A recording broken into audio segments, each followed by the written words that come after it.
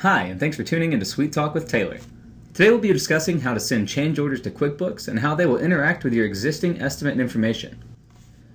As you can see, we have already sent our estimate over to QuickBooks, which has created a customer and a job for us based on the client and project name that we have within Construction Suite, and we have since also entered an invoice for the job. Once you've created a change order and it has been reviewed and approved by the client, you can come back into your Construction Suite estimate and change the status to accepted. And once you do that, it will save the change order to the estimate, and you will be prompted to send the change order to QuickBooks. Once you select yes, the QuickBooks Estimate Wizard will come up for you to choose the settings with which you would like to send this over to QuickBooks. You can choose the level of detail, whether you would like to send the project totals level of detail only or the entire workbook.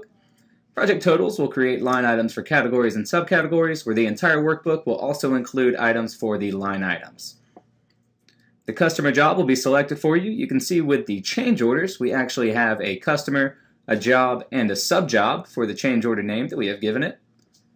And then you have the option to include markups such as line item markups or taxes if you have them in the estimate. Once you've chosen your settings, you can select OK, and this will send the change order information over to QuickBooks, and it will create a new estimate in QuickBooks for the change order. It'll let us know when the estimate has been created. We select OK. It will take us over to QuickBooks and show us that it has now populated this new estimate with the floor system materials item for the cost of our change order. We'll save and close and take us back to the Customer Center. You can now see that we have a sub job with the name of the change order underneath our main job here. So for floor systems, we do have this estimate now that we had just viewed. You can now use this item for any invoices, purchase orders, or bills that you have within QuickBooks and import that information back into Construction Suite. If you have a negative change order within Construction Suite, such as the one we have here for countertops within our estimate, you can do the same thing to send this over to QuickBooks once it has been reviewed and accepted. But this time you will notice that if you choose to send the estimate over to QuickBooks, it will actually create a credit memo instead of a new estimate for the change order. So note that anytime you have a negative change order and you choose to export it to QuickBooks, it will automatically create a credit memo for you. In this case, you can again choose the project totals or entire workbook level of detail. And again, you can see that we have a new subjob for the cabinetry downgrade and we will select to send this over as well. Again, once it has been created, we will be notified, and when we select OK, it will take us over to QuickBooks to show us the credit memo that has been created, in this case for $1,050.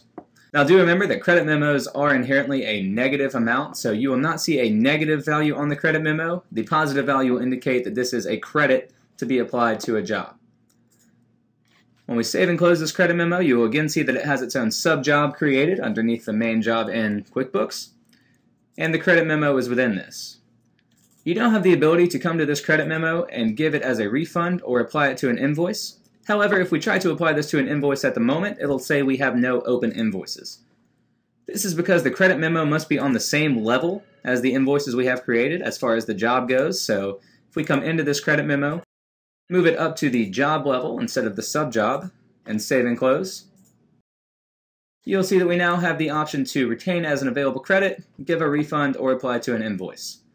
If you choose to apply it to an invoice, you can now choose the invoice you have. Select Done. And if we go view the invoice that we just selected, you will see that we now have $1,050 worth of payments applied from that credit memo.